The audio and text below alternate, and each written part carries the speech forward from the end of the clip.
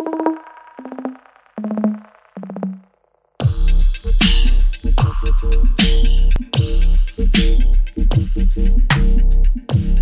Dat is de werfcampagne geweest uh, met de Mart Visser tas.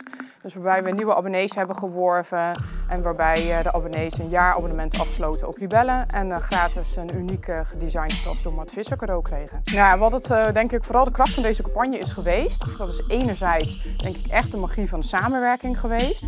Dus waarbij de beste mensen en de meest talentvolle mensen binnen Sanema hebben samengewerkt. Maar ook gewoon de kracht van een heel groot mediamerk uh, met uh, topontwerper en die heel erg populair is nog steeds, uh, Mart Visser. We weten in ieder geval dat het hele grote succes van een campagne is dat gewoon vrouwen en heel graag de libellen willen lezen, maar dat ze ook heel graag iets willen hebben waar ze zelf gewoon heel gelukkig van worden, wat echt een cadeautje voor hunzelf is. En nou, dat is denk ik gewoon echt omdat we gewoon een marketingcampagne hebben neergezet, wat natuurlijk met best traditionele middelen is gedaan.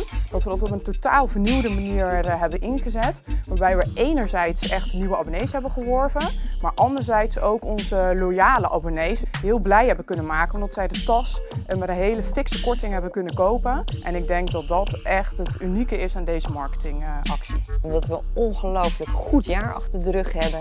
De energie spatte er vanaf. Er is heel veel gebeurd. We hebben heel veel nieuwe dingen gedaan. Uh, succesvolle dingen gedaan. Of het nou gaat om een uh, spraakmakend interview van Astrid Holleder aan het begin van het jaar. Libelle Zomerweek die er weer erop en naar over ging. De herlancering van de Libelle Specials. Ja, ik kan zoveel dingen noemen. Uh, Jan Jans en de kinderen kersttruien. En natuurlijk elke week een fantastisch magazine. We zijn heel erg blij dat we uh, vier nominaties hebben gekregen. Want we hebben begrepen dat er nog nooit zoveel inzendingen waren. Dus dan vind ik het echt een eer dat wij er vier hebben gekregen. Het geeft zoveel voldoening dat anderen ook zien dat je heel goed bezig bent met z'n allen. Nou, bijvoorbeeld dat ik uh, voor de tweede keer in mijn leven genomineerd ben als uh, hoofdredacteur van het jaar. En ik heb hem al een keer gewonnen.